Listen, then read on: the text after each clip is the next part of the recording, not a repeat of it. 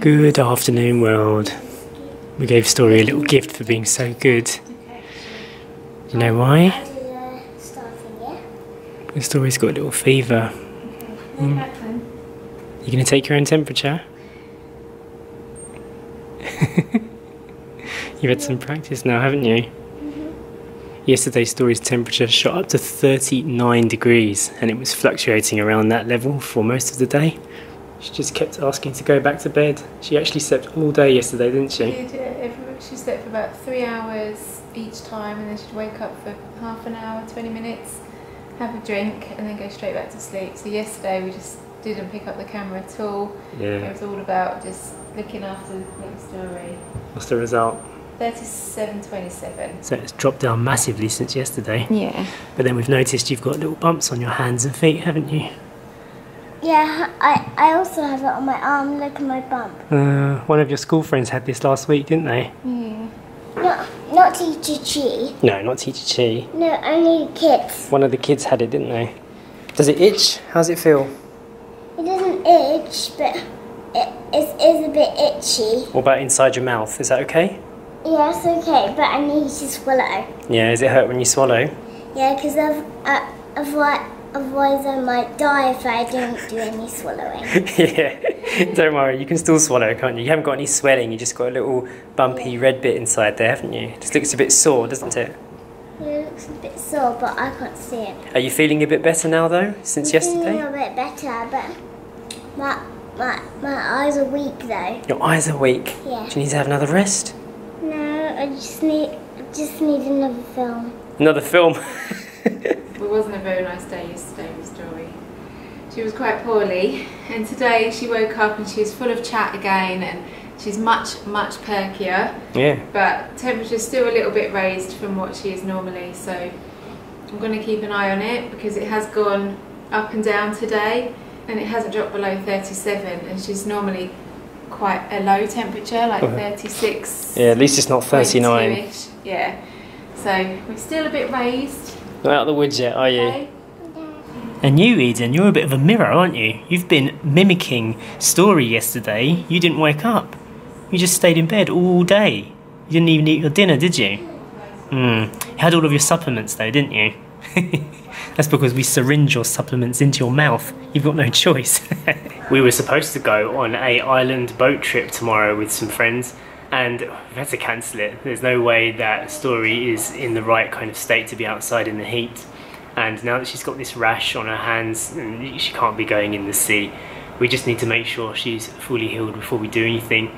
Quite a few people recently have been talking about our travels and you know what we should be doing. And maybe we should like try and see if we can contact AirAsia and Cebu Pacific and see if we can fly around and everything. And a couple of you guys commented right it is more difficult when you've got a child and you've got a dog and you've got school schedules and you've got uh, a dog with ailments. We have to plan for much longer before we do anything like that. But thank you guys for offering to contact all of these companies and corporations for us it would be amazing if we could do stuff like that, but it has to be closer to home.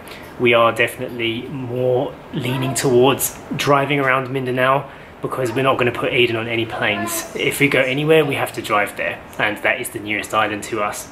It would be interesting to get in touch with whoever manages tourism for Mindanao. I'm going to leave you girls getting busy with that, and I'm going to go out and buy some fuses. oh have fun Have fun. so my good friend June June from Surigao City managed to send me a brand new alternator for the Toyota and it works really well, getting full charge from the car. But I did notice that the fuses from the engine bay are looking really worn and dying. So I'm gonna go and see if Dapa has some fresh ones so we can get this car ready for our plan, which I'll tell you about when we get back.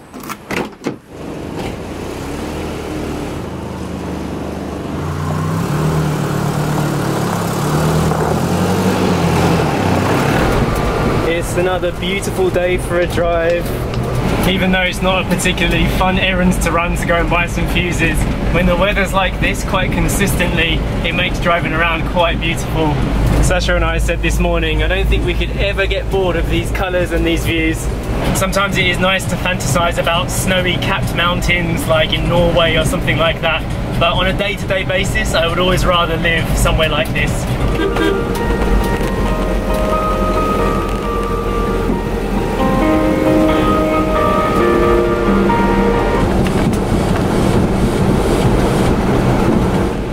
Just currently passing over the Musin Bridge right now.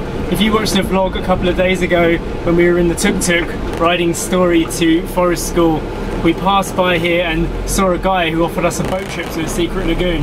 And we had big plans to do that one day and then go on the boat trip to the island the next day. Everything was like exciting and we were all prepared to go the next morning and then Story started getting ill. And that is why, with all our good intentions, things work differently with us. Psychologically, we were all ready to go. Even Story was super excited about the idea of doing something different after her week of school. And we can definitely tell that Story's getting an itchy foot for travel because she keeps asking us about different animals that she can see and different fruits that she could eat that we can't get here on the island. And when we say to her, oh, we have to go here for that, she'll be like, oh, well, can you take me there? The other day she said to me, Dad, can you take me to India please? And I was like, I wish it was that easy like it used to be. I would love to take Story to India one day and then obviously she would experience a whole new culture, a completely different side of the world. You know, India is somewhere quite special as is the Philippines. We have so much to see here as well. We just have to go about it the right way and that just takes a little bit more time. And now of course we've added Eden into the mix who is a very old dog that needs a lot of care and hotels required to be pet friendly which changes the game a lot. It was the same in Thailand. We were restricted to where we could go and where we could stay because of Eden. So now having a child and a dog it's not easy, but we will work it out. We showed in a vlog the other day the little dog backpack, so we can put Eden in the backpack and carry her on hikes. I actually ordered that from Lazada, so it should be arriving in a few weeks' time. We will need to test it out to see if it's actually a feasible way to transport Eden around but I think it's going to make for some interesting future videos and it's all part of the preparation for us to go further afield. There's one more factor we have to keep in mind as well and that's this pandemic testing situation. If we have to go somewhere that requires Story to have a negative PCR test where they stick the cotton swab thing right up of your nose, that would be a definite no-no for me. And I have heard actually that here in the Philippines, they're not actually requiring you to test a child of an age under 13 I think. But it also depends on which island you're going to and the specific rules. So we really do have to keep an eye on how things are changing from week to week because we don't want travel to become taxing and to become unenjoyable. It has to be something that we still enjoy. That's why we've been comfortable here in the island so far just exploring locally. But on a positive note it looks like things are getting a little bit easier here in the Philippines Let's grab that fuse, see if anyone's got one. This is the back streets of Dapa, where you get all your roadside parts from. I've got a tip for anybody who likes to travel. Always look up. You see cool little buildings that you don't notice if you just look down below. Look how authentic that looks.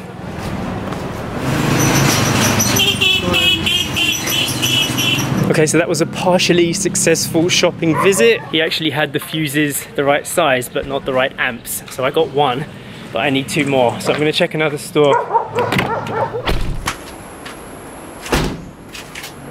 Okay, couldn't find everything I needed in Dapa, which is a bit annoying, but I can always get it from the next island.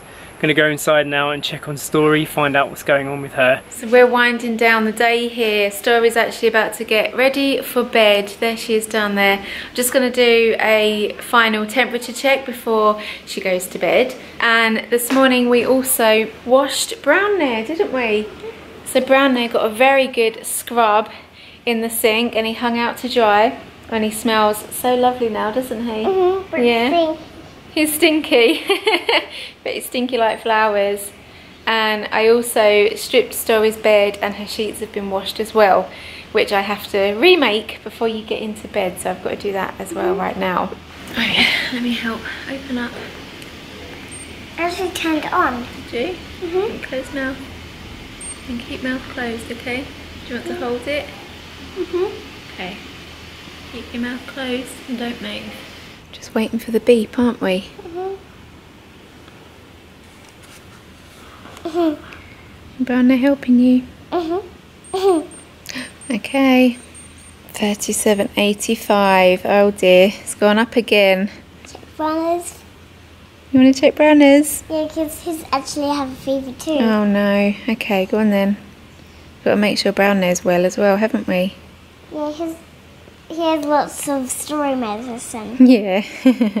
right, you wait there with Brown there and I'll go make your bed, okay? Make your room nice and cosy. Story has definitely been much more herself today. She's been so perky, talking a lot and really been more herself whereas yesterday she was completely out of it. She's also eaten today. Yesterday she ate one olive the whole day and two mugs of milk with water and stuff but so she was drinking every time she woke up but she just didn't eat anything yesterday. Today she's had 15 olives and half a bowl of oats also a whole apple. So she has eaten much more today than she did yesterday. So hopefully tomorrow she'll feel better and we'll get that temperature down Runners 688. Brownlee's temperature is 50, 108. That's really hot. Oh my goodness, he needs to have an early night as well. It's a long time till I get better. I think tomorrow you'll feel even better than you did today.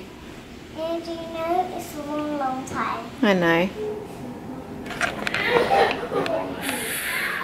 Story is having a bad morning today. Her fever is completely gone, but now it's been replaced with really, really itchy feet and itchy hands. So we now know that she has got probably what her friend had at school, and luckily, this is the last stage of it just the itchy feet. So we've done a lot of research, we've spoken to some people, and she just needs to ride it out. Mummy's doing some cooling in there. We've managed to get a hook up our battery bank to the fan because we've actually got a power cut. It's a bad day to have hot weather and no air conditioning. It's really difficult for us to hear Story crying like this because she never normally gets sick. She has always been extremely resilient to other people's illnesses. Every time we've been around people that are sick, she's never really caught on. I just think that because of the stress of being extremely active in an extremely hot environment at the school and around some other people that have some kind of illness, it's caught on probably a lot quicker than she normally would. But this is normal, this is all part of parenting, it's all part of life. All other plans are on hold right now while Story gets better from this. Some people that watch these videos online, they often say things like, oh, Story's never naughty, or she never gets sick, or she's always a happy girl, but we know that's not reality. The reality is that she doesn't often get sick and she doesn't often act up, but it does happen, and this is all part of being real and trying to show some form of authentic life here. It also leads me on to the topic that I was mentioning earlier about wanting to travel around. Sometimes your plans get disrupted massively. Today we were supposed to be on a boat trip. It was actually today we would have been on the island and the story is, you know, in no condition to be traveling around, going in seawater, no chance. So we have to react as parents to these kind of situations and also we have to think about Eden too.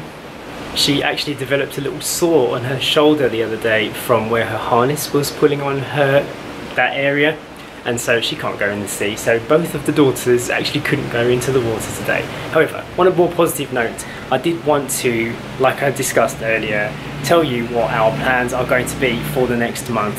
Hopefully this can work out.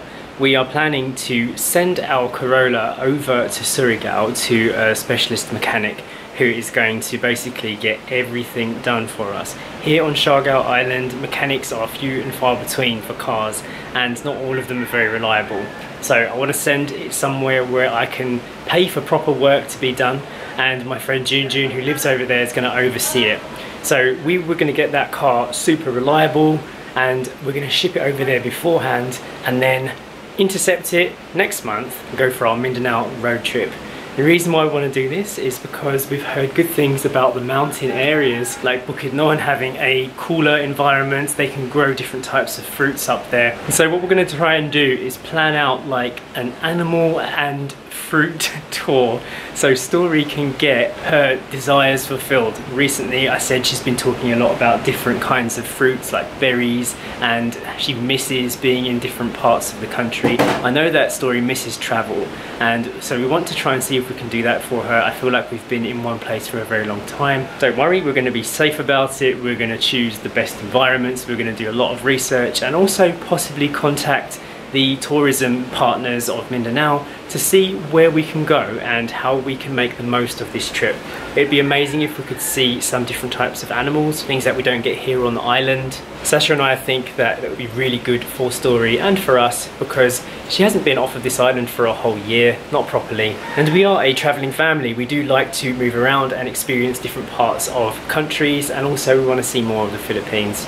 So there's a lot of factors there to think about. I'm going to have to work out how to ship the car over. I have some new boat contacts now which will help with that. As always, these plans are preliminary. Not everything might work out. So we just have to hope that we can put all of the steps into place and it will go through. And I thought I'd share that with you guys, what we were planning to do. I'm going to end today's video. Hope you enjoyed it and we'll see you next time. Bye.